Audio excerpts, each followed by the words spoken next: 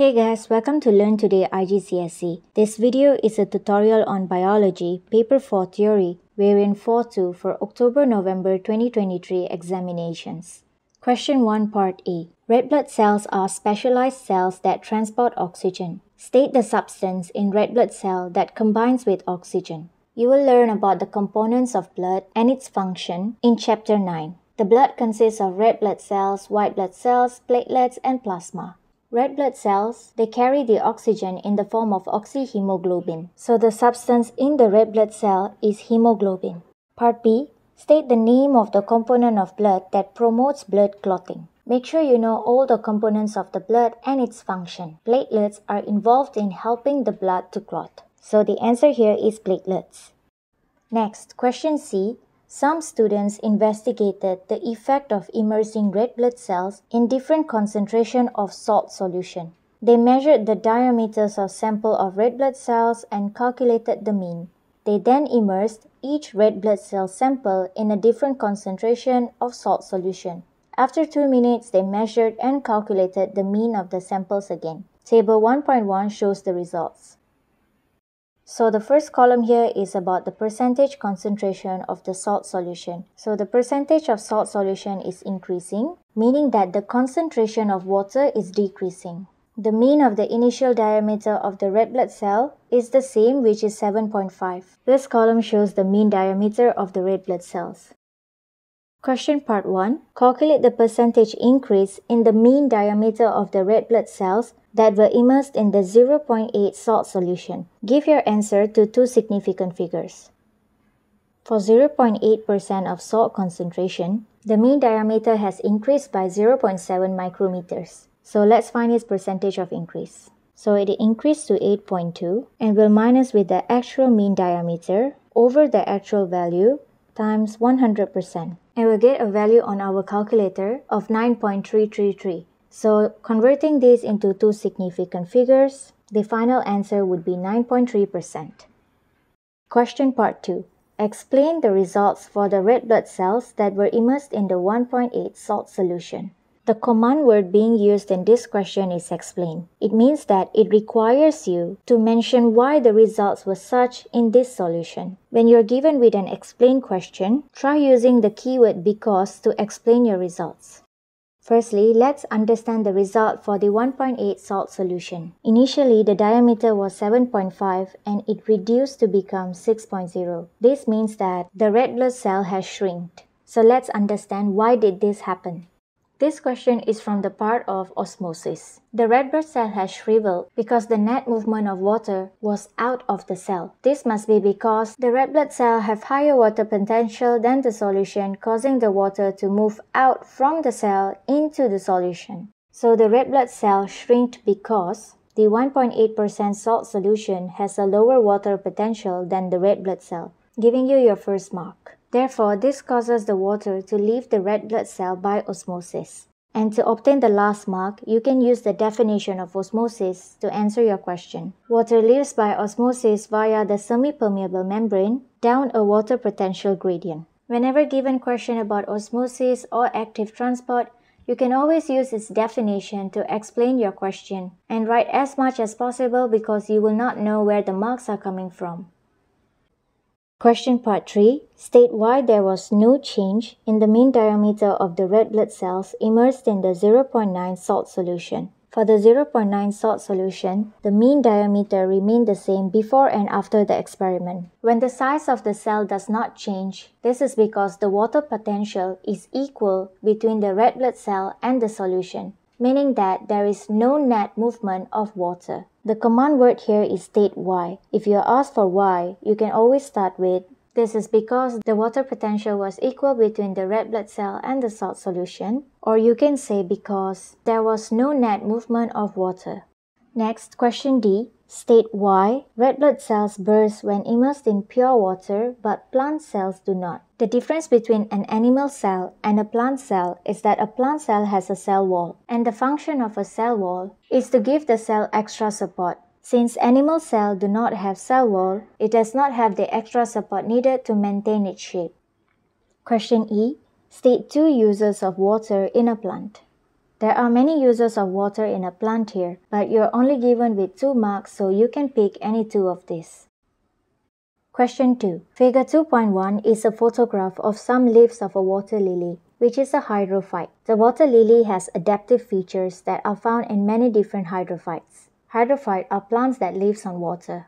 And you will learn about xerophyte, which are plants that live in very dry conditions like cactus. Question A. Describe what is meant by an adaptive feature. To get the definition of the terms that you learn in biology, you can always refer to the course specification. Make sure you're looking at the right one. I will attach the link to this in the description box below. If you go to chapter 18 under adaptive features, you will see that you have already been given the description for adaptive feature, whereby it is inherited feature that helps an organism to survive and reproduce in its environment. Remember that you can get almost all of your definitions as per the marking schemes from your course specification. So make sure you have them for all of your subjects for IGCSE as it can be really handy. Question B. Figure 2.2 is a photomicrograph of a cross-section of a part of water lily leaf. Part 1. State the names of the parts labeled A, B, and C in Figure 2.2. You will learn about the leaf structure under Chapter 6 of Plant Nutrition. The upper part here is the upper epidermis, followed by a layer of chloroplasts which are stacked together closely, identified as the palisade mesophyll. Part B here is the spongy mesophyll, which is above the lower epidermis, and the empty spaces here are all air space. This is to help the leaf float on the water. Question part 2. Explain how part C in figure 2.2, which is the air space, adapts the hydrophyte for its environment. As mentioned previously, hydrophyte are plants that lives on water. So we are required to explain how the airspace in the leaf helps this plant lives on water. So as we can see on figure 2.2, the leaf contains many large air spaces. Mentioning this can give you your first mark. These large air spaces will help the leaf to float on the water surface. Since this plant lives on water, this adaptation is very important for its environment. So you can obtain another mark mentioning this. And lastly, when the leaves are on the surface of the water, this can maximize the light absorption from the sun for photosynthesis to take place. Always pay attention to the number of marks given in your question to know exactly the minimum points that you should have in your answer space. Next, question C. A scientist calculated the mean number of stomata per millimeter square in the upper and lower epidermis. Tomato plants are a type of pteridid plant. Table 2.1 shows the results. Part 1 Compare and explain the differences in the mean number of stomata in a tomato plant and in a water lily plant. Pay attention here that your command word here is compare, meaning that we are going to require at least two comparisons between tomato and water lily. And your other command word is to explain, meaning that we need to give reasons why there is a difference of number of stomata in the water lily and tomato plant. When you encounter questions that ask you to explain, you can always use the keyword because. You're given 5 marks here, so we need at least another 3 reasons for the differences present. Alright, so let's compare first. For tomato plant, there is significantly a very high number of stomata in its lower epidermis compared to the upper epidermis. Whereas for water lily, there are zero number of stomata in its lower epidermis and a very high number of stomata in the upper epidermis. So we are going to write these points as our comparison. After stating the difference as the comparison, now we have to explain why. So we'll first explain the function of the stomata on a leaf is to allow carbon dioxide to enter and to allow oxygen and water to leave. The upper part of the leaf usually receives a high amount of sun compared to the lower part of the leaf. So if the stomata is placed in the lower epidermis, this can prevent water loss from the leaf. And now we're going to give a reason why lily plant has only stomata on its upper epidermis. Lily plants live on the surface of water, meaning that there is no need to conserve any water here.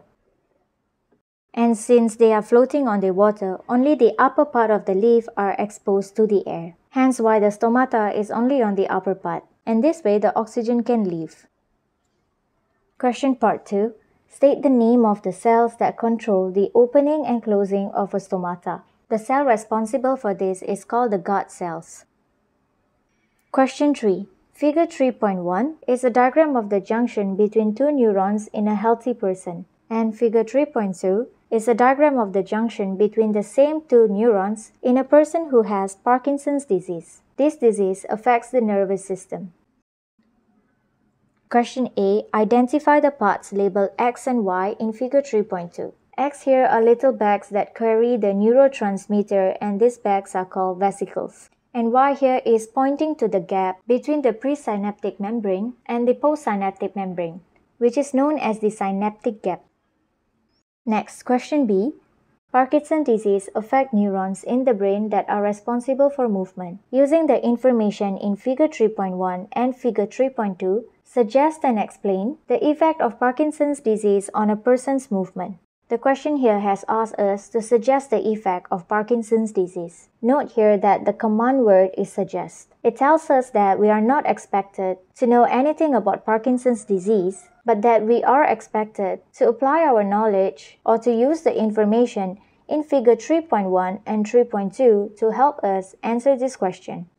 So let's look at the differences. As you can see, a person who has a Parkinson's disease has lesser number of vesicles compared to a healthy person. And we can also notice that the number of neurotransmitters in the vesicle of a healthy person and a Parkinson's disease is significantly different. The Parkinson's disease patient has lesser neurotransmitter, causing lesser neurotransmitter to be released. So now we have to explain how this can affect a person's movement. If there are lesser neurotransmitters being released into the postsynaptic membrane, then there will be lesser impulse that is being sent. If lesser impulse are being sent, then this will lead to lesser movement. So this is how you answer a suggest and explain question. Question C. Describe two ways nervous control differs from hormonal control. The speed of transmission for a nervous system is very fast compared to a hormonal system. When asked to state differences, you can use the keyword then to compare whatever that they're asking you in the question. And the second difference is you can speak of the length of effect, where it is short for the nervous control and longer for hormonal control. For an extra point, you could mention the type of message in a nervous control is electrical impulse, whereas in a hormonal, it's a chemical. Next, question D, part 1. The shape of the receptor proteins shown in figure 3.1 and figure 3.2 is important for their function. Explain how the shape of the receptor proteins is determined. To answer this, you must have a strong understanding of your chapter 17, protein synthesis. In this chapter, you will learn how the shape of receptor proteins are determined. They are determined by the sequence of bases in the DNA or mRNA. Each basis of the codes are for a specific amino acid, so the sequence of amino acid will determine the shape of receptor protein. Next, part 2. Cell membranes also contain protein carriers. Describe the role of protein carriers. This question is from the chapter Active Transport. The protein carriers will help move or carry the molecules or ion across the membrane and this process here needs energy, so it is done by active transport. If you'd like to add, you can also mention that active transport happens against the concentration gradient. Thank you for watching. I'll be explaining question 4 to question 6 in the next video.